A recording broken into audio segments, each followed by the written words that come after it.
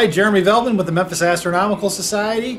Welcome to another episode of Telescope Tips. Here today with Brian Hancock. Good morning.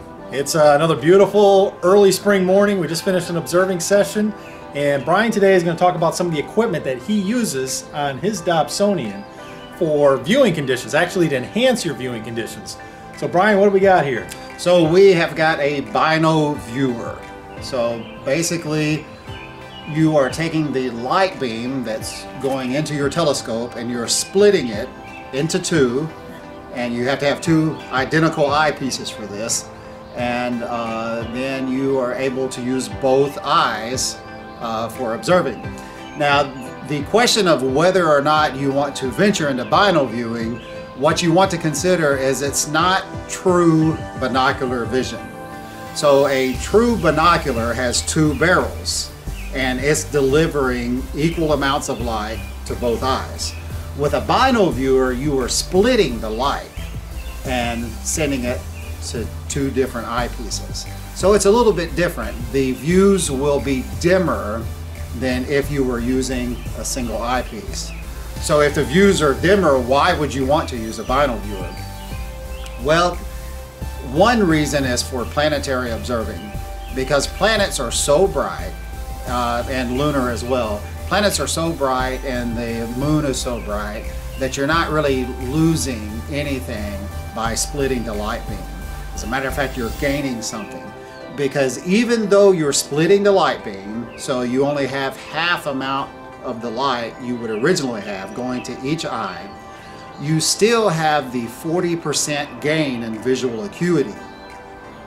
And you have the comfort of using both eyes.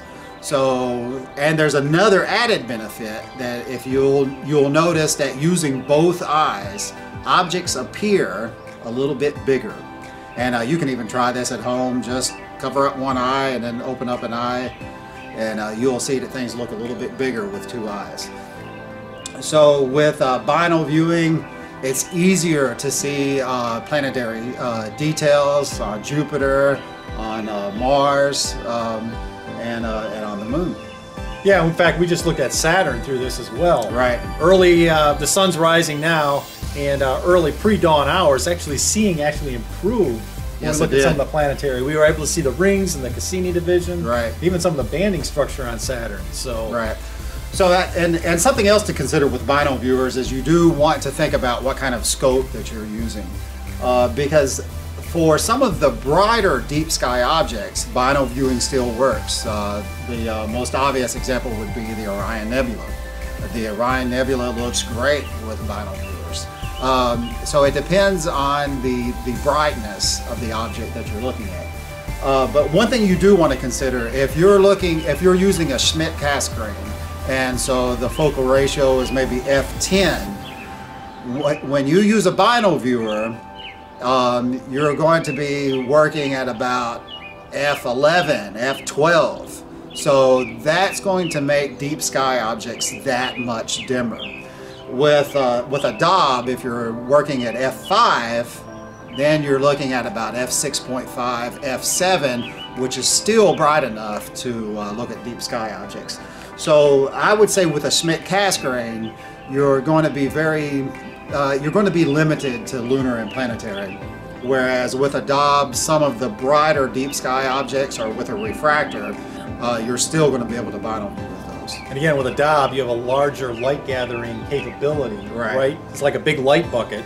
So even if you're splitting the light beam between two different eyepieces, you're not losing as much. Correct. With a bigger light bucket, Dobsonian type, as opposed to some other type of telescopes. Right. So bino view actually works really well with this type Right. of scope. And um, for uh, recommendations for a bino viewer, I, I actually started out this um, this um, particular bino viewer is a little bit more expensive, but uh, I started out with a Williams Optics bino viewer. It's about uh, I think it's about 230, 240, um, and it's really quite good. It's a good quality. It comes with two eyepieces and uh, with a Barlow. So I would definitely recommend starting out with that, seeing how you like it, uh, because if you don't like it, um, they resell quite well on uh, cloudy nights or on Astromart. Uh, so that's something you can try to get your feet wet, the Williams Optics Bino Viewer package. And um, um, if you start out with that and you really like it, then you may want to move up to a higher model. Really, the um, the quality of the Williams Optics bino viewer is really, really good. The uh, only difference is there, the uh, the diameter is about 23 millimeters, I think. So depending on the field stop of the eyepieces you're using, like for example, the 24 millimeter Panoptic um, is going to have a, um, a wider field stop than that. So you'll see some vignetting um, if you're using uh, the Williams Optic. Um, so basically what do you get by moving up from a Williams Optics? You're going to have a larger diameter and um, a, a better field of view. But on axis, the image is almost identical. Fantastic. And again, those websites, if you're looking for accessories for your telescope, whether it's a bino viewer or anything else, you go to Cloudy Nights and Right. Astromart. Astromart, yes. All right, fantastic. Good. Well, Brian, thank you very much. Sure. Another episode of Telescope Tips from the Memphis Astronomical Society.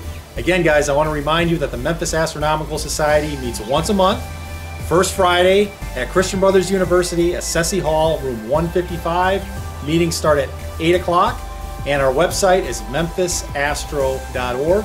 And we're also on YouTube and Facebook.